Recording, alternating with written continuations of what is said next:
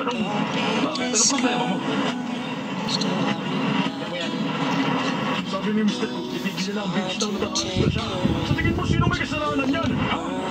Paliwanag mo nga sa amin yan! Hindi naman beach town ang kaya siya nandito. Nagpunta siya para sa malaking.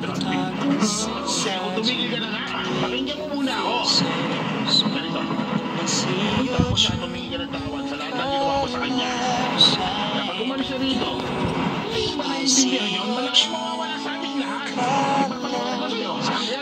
Jumbo, walang Anggung, pati ang bangka ni Sunjul. Lahat ng kita. Kasalanan ko lahat yun. Naiintindihan ko nararamdaman mo. Dating siya rito, tinagaw ang teritoryo mo. Ganun ka sa kanya nga ganun ang nangyari. Mas mo naman yun. Ano ba pinagsasabi? Ginagawa ko na na naman yan. Mali ka nang nakakala. Ay,